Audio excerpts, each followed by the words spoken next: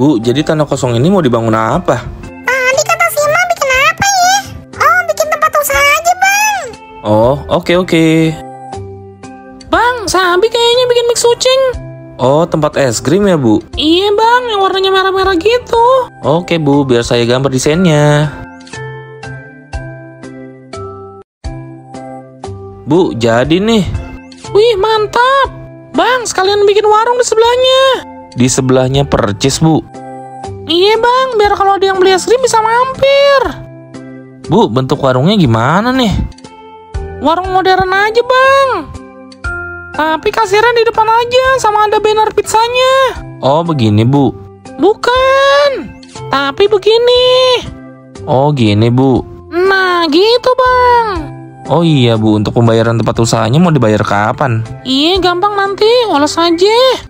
Babe Mochi, ini warung ada yang mau ditambahin nggak?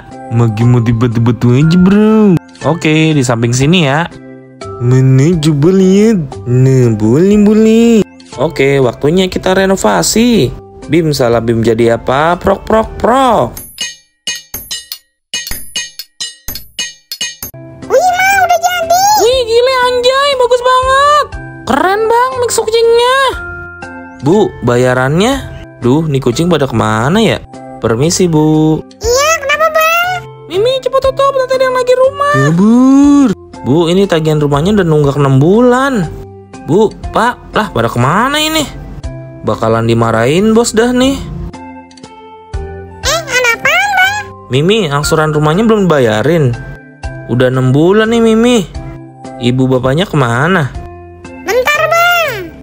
Gua cari di dalam dulu. Oke Mimi, buruan ya Ada